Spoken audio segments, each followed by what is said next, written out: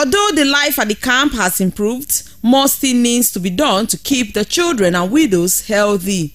Speaking on the state of the camp, the proprietor of the Christian Center for Mission, Pastor Solomon Folonsho, said 8 to 10 bags of rice is needed for a meal, while 3 bags of beans, in addition to about 400 yams, are needed to prepare a meal for those living in the camp. According to Pastor Folonsho, a total of 1,850 naira is spent on workers' salary every month. I want to thank every one of you there for the wonderful support you gave us throughout last year. This year we still have challenges.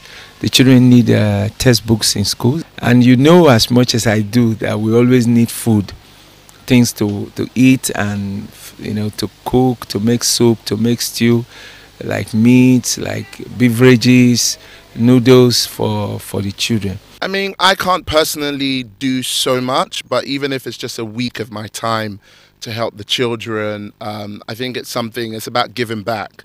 Um, and I think a lot of the time we, as Nigerians, we need to give back, even if it's just an hour of our day, Although some individuals and non-governmental organizations have constructed toilet facility, residential apartments and hospital within the camp, it was observed that the internally displaced persons need more support for their welfare. Right here in one of the kitchens at the camp of the internally displaced persons in Uhogwa village of Ovia Northeast local government area of Edo State.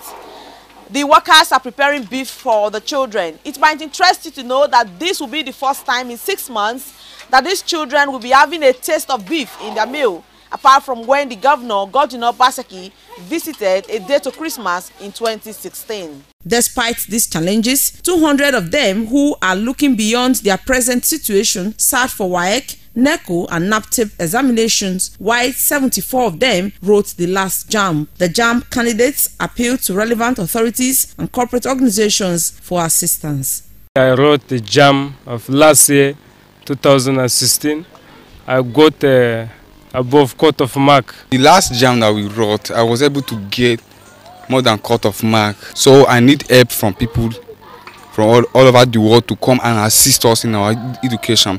To God be the glory, I want to become an anatomist in future. Last year I wrote a jam. So by God's grace I passed the jam. So I need each and everybody, individuals, to come and support us to give us scholarship in order to go further for education. At the time of this report, the camp is running short of some food items.